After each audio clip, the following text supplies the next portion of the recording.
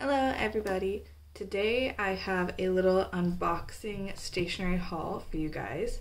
I got some stuff from Hemlock and Oak and I also got a new photo printer. So let's dive right on in and I'll show you guys what I got. First off, from Hemlock and Oak, I just got a couple things. So when you open it up, they've got a little thank you card here with some information on the back. Then I got two washi tapes and a new journal, which I'm very excited to check out. Right off the bat, love the packaging. It's very cute. Nice little gold embossed box. And this is the notebook that I got. So it is their graph notebook in this beautiful like olive color. I had such a hard time deciding on the color because if you know me, you know I usually go for more neutral beige tones. And I just wasn't really feeling as inspired as this beautiful deep green. So it is 160 pages of 150 GSM grid paper. This is going to be my first time using grid paper. I usually use dot grids in my like bullet journals and things like that, but I kind of wanted to give the grid a shot because I'm hoping it'll help me keep my lines of writing a bit neater. And this lovely decal on the front is their garden one. They also have like a kind of starburst looking one, but I really liked the flower pattern on here. When we open the journal up, we get a nice blank page and we have a notebook belongs to section and a if found contact section and it just goes straight into the dot grid.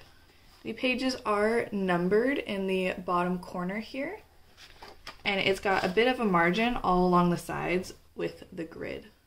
Now, if you follow my channel, you know that I don't do bullet journaling currently.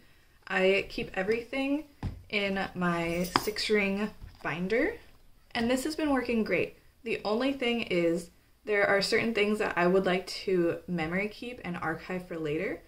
And I've been going back and forth on how I want to do that. And I think what makes the most sense for me is to have a separate journal just for memory keeping. Because when I flip through my old journals, I don't really pay much attention to my to do lists and like my day to day stuff. That's kind of just helps me in the moment be productive. But when it comes to memory keeping, I want to be a little bit more creative, a little bit more expressive with like photos and scrapbooking and stuff like that. So that's why this notebook is going to be my memory archive journal. I can take things that I write down and things that happen in here, photos off my phone, and then put them in this journal. So the next thing that I got from Hemlock and Oak are these washi tapes.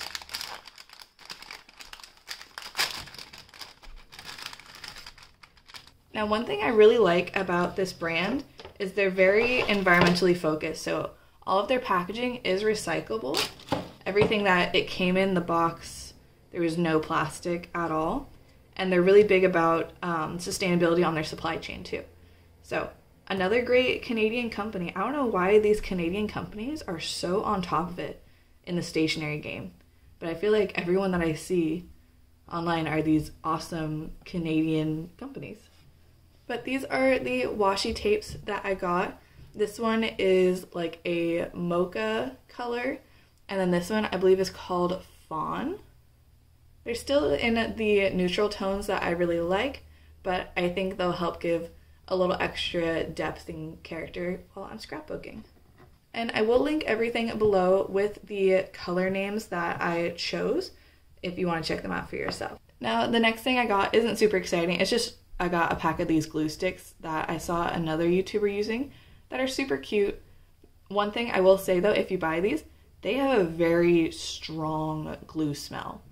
I don't know if I'm just sensitive because I'm pregnant and everything's smelly, but very strong glue smell. But I tried them out last night and it works really well. I like that it's square because I feel like you can just get into the edges a little bit better when you're gluing in photos and stuff.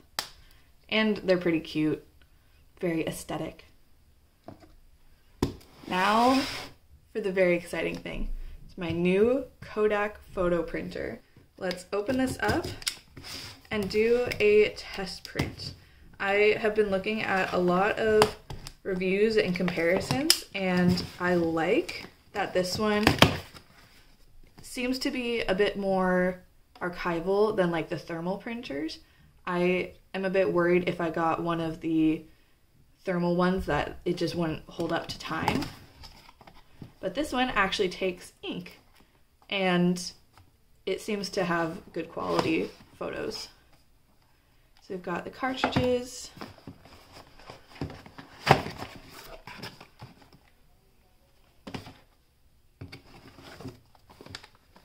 And the printer itself.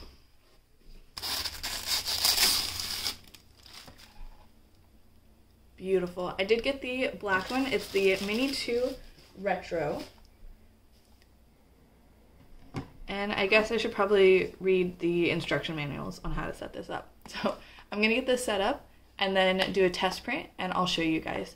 I probably won't be able to film it as it's printing because I use my phone to film and you have to print from your phone, but we will take a look at the photo quality together once I figure this out.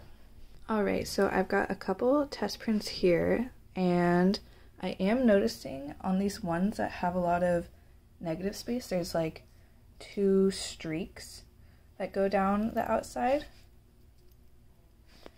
So I don't know if that's just my printer or this cartridge, but I'm going to keep an eye on that. I might reach out. It doesn't really bother me that much because for what I'm doing, I mean, you can't really notice.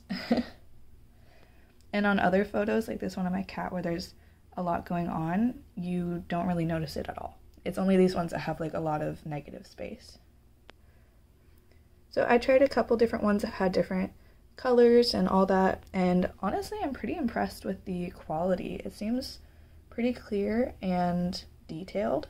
The colors are very vibrant, especially like this one with the orange. I really like the way that looks. And these little white tabs at the top are perforated and they do tear off like that.